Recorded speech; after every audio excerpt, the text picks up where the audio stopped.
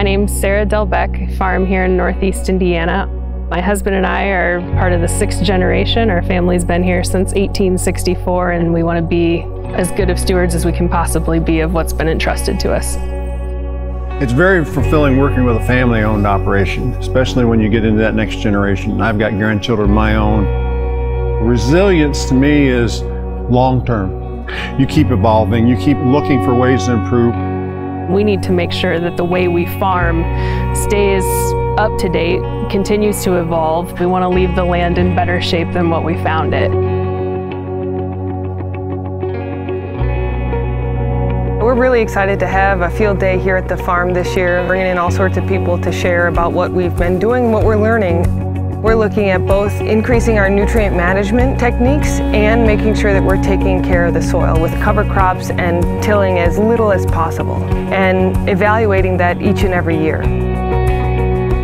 We think of sustainability as being both the environmental piece and economic. They go hand in hand. So our goal is how do we help farmers pinpoint which practices are truly meeting both of those goals and which ones aren't. We just want to create opportunities to come together and that's what the field days really are. One of the major goals is to drive research and education. There is no standard measurement on soil health. So the Soil Health Institute is really determining, well, what are these measurements? How do we make them consistent? How do we establish a baseline so that we can measure ourselves? Are we really improving outcomes? And then we can say, yes, we're, we're realizing benefits not only on the farm, not only are we seeing better profitability, but our communities are reaping the benefits of that through clean air, clean water, and avoided nutrient runoff and those things.